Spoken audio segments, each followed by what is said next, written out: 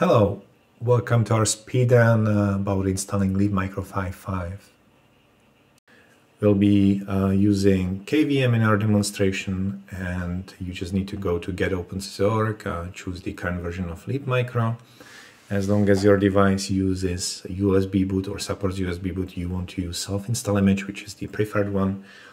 Uh, users of Raspberry Pi without USB boot uh, can just directly dump the pre-configured image with DD on the SD card. Um, you have also QCOW uh, version of that, which you can just import to KVM. Um, so we are setting 30 gigs. Uh, we call it Leap libmicro 5.5 and uh, yeah, it will be using NAT. So the entire installation will take roughly two minutes uh, from install to the basically being able to manage the system through the web browser, through Cockpit. So the self-install image is may not look fancy, but uh, the job is to basically take the very same raw image that you would dump to your uh, Raspberry Pi or so.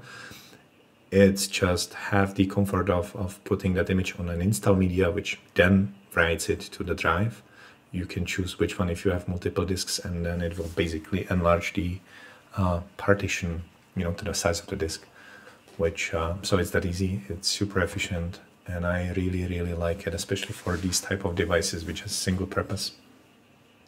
So we are at uh, roughly one minute and we are done with the installation. So the image is fully written to the disk uh, we are using M2 SSD disk so it's it's it's quite fast. Uh, yeah, and we are booting the system.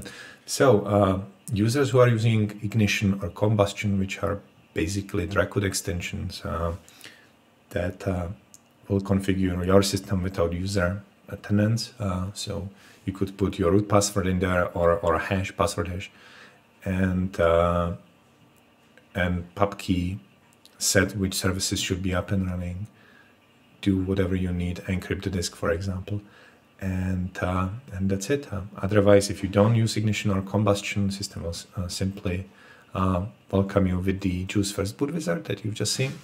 And now um, we will enable Cockpit, so you can uh, you can actually see it in the message of the day. And from now on, you can fully maintain the system, including running containers through the web browser. So we are at uh, two minutes and entering Cockpit.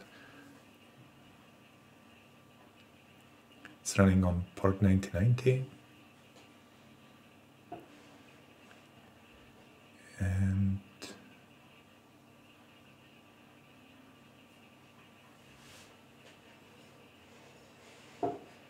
and 2 minutes 18 and we are in.